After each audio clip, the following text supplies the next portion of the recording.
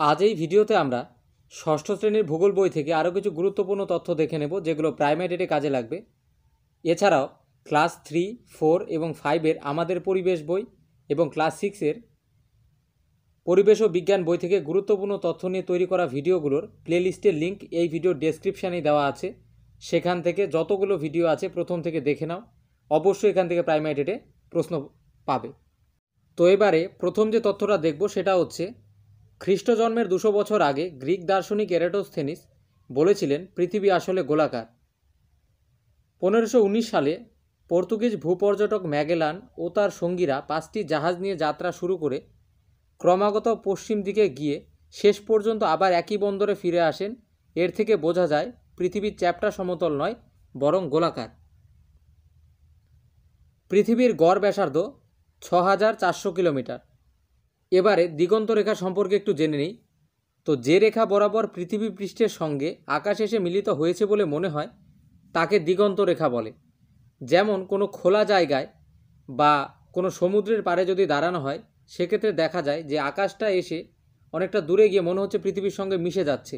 তো এই যে মিশে যাওয়া মনে হয়, আকাশ এবং পৃথিবী যে জায়গাতে মনে হচ্ছে যে মিশে যাচ্ছে, সেটাকেই বলা হচ্ছে দিগন্ত রেখা। তো এবারে আরও কিছু তথ্য দেখে নেওয়া যাক। গ্রিক দার্শনিক অ্যারিস্টোটল চন্দ্রগ্রহণের সময় চাঁদের ওপর পৃথিবীর গোলাকার ছায়া দেখে বলেন, পৃথিবী গোলাকার। তো এবারে আমরা যে বিষয়টা দেখব, সেটা খুবই গুরুত্বপূর্ণ। জিওট কথার অর্থ কী? জিওট কথার অর্থ হলো পৃথিবীর প্রকৃত আকৃতি, পৃথিবীর মতোই, অর্থাৎ আর্থ শেপড। এই বিষয়টা একটু খেয়াল রাখবে। এবারে আমরা যেটা দেখব, পৃথিবীর পরিধি প্রায় চল্লিশ হাজার কিলোমিটার, পৃথিবীর মেরু ব্যাস বারো হাজার সাতশো চোদ্দ কিলোমিটার, আর নিরক্ষীয় ব্যাস বারো হাজার সাতশো ছাপ্পান্ন কিলোমিটার। তো এর থেকে যেটা বোঝা গেল, সেটা হচ্ছে পৃথিবীর নিরক্ষীয় ব্যাস মেরু ব্যাসের তুলনায় বিয়াল্লিশ কিলোমিটার বেশি। অর্থাৎ পৃথিবী মাঝ বরাবর বিয়াল্লিশ কিলোমিটার স্ফীত, বিয়াল্লিশ কিলোমিটার চওড়া। এবারে আরও কিছু তথ্য দেখে নেওয়া যাক। তো পৃথিবীর সর্বোচ্চ স্থান হলো হিমালয় পর্বতের মাউন্ট এভারেস্ট। এটা সমুদ্র সমতল থেকে আট হাজার আটশো আটচল্লিশ মিটার উঁচু। বর্তমানে এর উচ্চতা আট হাজার আটশো আটচল্লিশ দশমিক আট ছয় মিটার। আবার পৃথিবীর সর্বনিম্ন স্থান হচ্ছে প্রশান্ত মহাসাগরে মারিয়ানা খাত। এটা সমুদ্র সমতল থেকে দশ হাজার নশো পনেরো মিটার নিচু। অর্থাৎ পৃথিবীর সব থেকে উঁচু জায়গা এবং সব থেকে নিচু জায়গা দুটোর মধ্যে পার্থক্য প্রায় কুড়ি হাজার মিটার বা কুড়ি কিলোমিটার।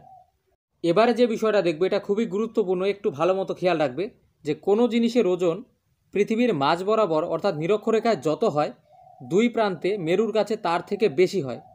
অর্থাৎ এটাকে যদি আমরা আরও সহজভাবে বলি, সেটা হচ্ছে কোনো একটি বস্তুকে নিরক্ষীয় অঞ্চল এবং মেরু অঞ্চলে যদি ওজন করা হয়, তাহলে বস্তুটির ওজন নিরক্ষীয় অঞ্চলে কম হয় এবং মেরু অঞ্চলে বেশি হয়। তো এরও কিছু কারণ রয়েছে, সেই বিষয়টা একটু জেনে নিই। এর কারণ হলো, পৃথিবীর দুটো মেরু কিছুটা চাপা এবং নিরক্ষীয় অঞ্চল কিছুটা চওড়া বা স্ফীত হয়।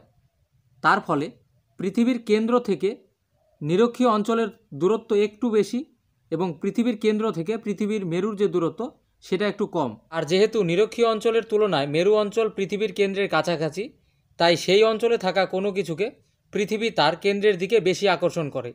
সেই জন্যই মেরু অঞ্চলে কোনো জিনিসের ওজন নিরক্ষীয় অঞ্চলের তুলনায় বেশি হয়। অর্থাৎ যেখানে পৃথিবীর অভিকর্ষজ টানের পরিমাণ বেশি, সেই জায়গায় বস্তুর ওজনও বেশি হয়। যেহেতু মেরুতে অভিকর্ষজ টানের পরিমাণ বেশি তাই মেরু অঞ্চলে কোনো জিনিসের ওজনও বেশি হবে।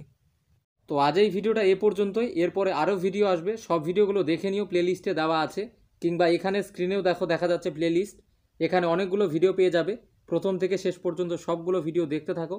অবশ্যই এখান থেকে প্রশ্ন প্রাইমারিটে পেয়ে যাবে। তো আজ এই ভিডিওটা এতটুকুই। বাই।